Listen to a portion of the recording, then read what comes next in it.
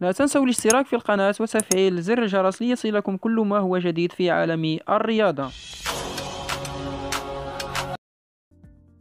قدم الحارس يوسف المطيع واحدة من أفضل مبارياته مع فريق الوداد ضد نادي سان داونز حيث كان سدا منيعا أمام هجمات الفريق الجنوب أفريقي الذي وجد صعوبة كبيرة في الوصول إلى شباك الحارس يوسف المطيع إلا في مناسبتين نتيجة أخطاء دفاعية.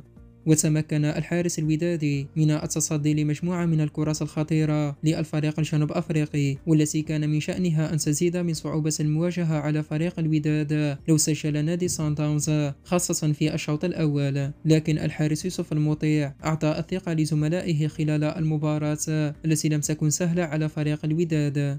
وشوهد مدرب نادي سان داونز في تعبير له عن اندهاشه بالمستوى الكبير للحارس الودادي يوسف المطيع. وتمكن فريق الوداد من العودة بتأهل تاريخي من جنوب أفريقيا بعد التعادل الإيجابي أمام سان داونز بهدفين لكل فريق. ليكون بذلك على موعد مع النهائي الثاني على التوالي بعصبة الأبطال ضد نادي الأهلي.